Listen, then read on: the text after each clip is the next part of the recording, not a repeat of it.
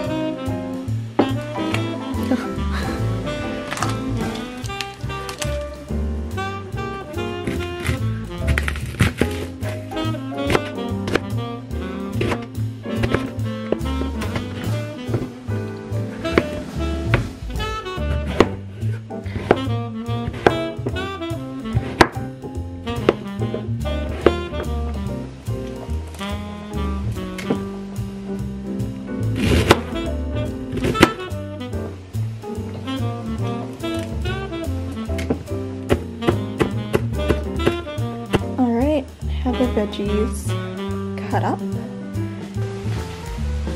I think I ran out of bouillon cubes.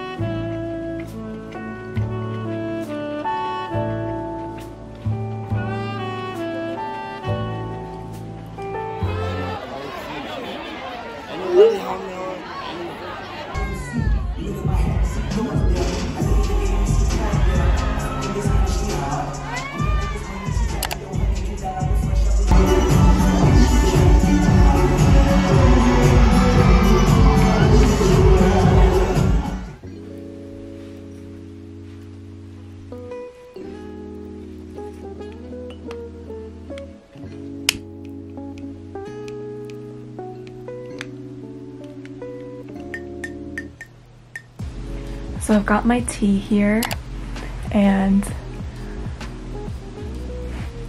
I've been doing a lot of contemplation and I had to basically journal it out or just write it out.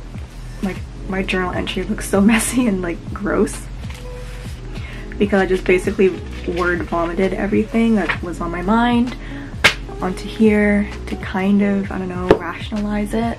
Um, I don't know, I thought I would just kind of share what I've been thinking as a postgraduate student who graduated quite late in terms of societal norms um, because like I am 24 and I'm turning 25 in like less than two weeks which is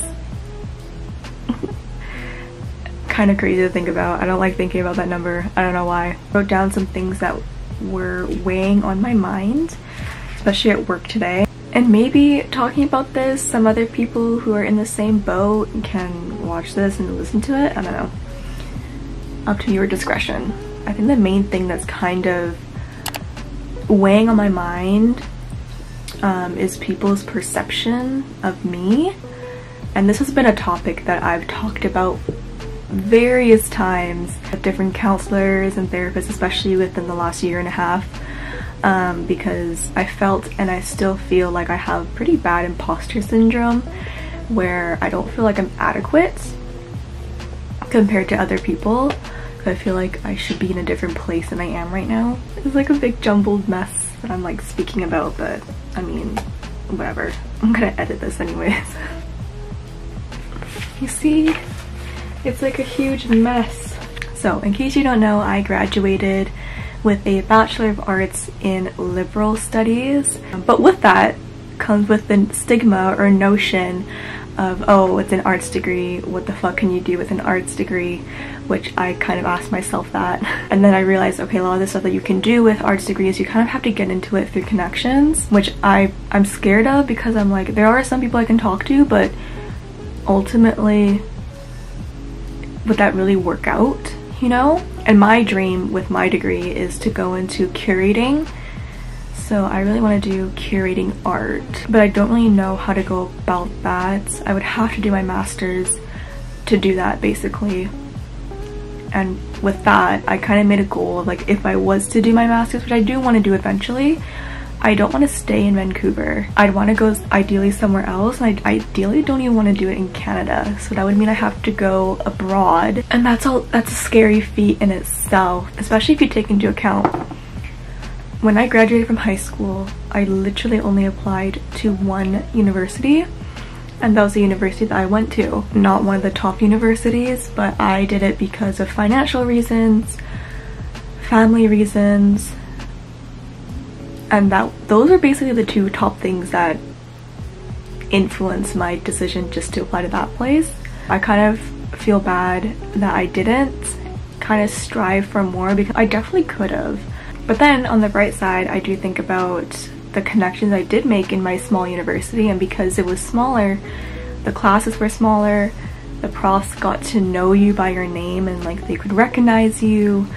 I have other friends in bigger universities and their lecture halls are like 200, 300 students. The second thing that's been kind of bonking on my mind um, is my career path. I searched up, oh, what kind of jobs can I do with a liberal studies degree? And like a, a list of things came up, but then it doesn't tell you how to get into those positions and stuff like that. And a lot of times it does rely on connections that you have as well as, as I hate to say it, like the status of the school that you went to. If I apply to like the same job as someone that has just a better socially ranked university, I'm not going to get the job.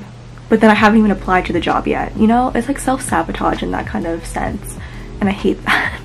I'm really trying to, I don't know, trying to work through that, but it's hard right now I work in a hospital. I could potentially move into a different position in the hospital and just I guess like move up. And then I wrote down like, you know, pros and cons of working in the medical field in my position. It's just like a stagnant job and there's not much room for growth. If you're in like one position, you're in one position. In Vancouver, there's really not many opportunities when it comes to art curating. I've always wanted to travel and like you know, live abroad, stuff like that. And I don't know if, you know, is this the right time to do it? Just to say fuck it and go for it.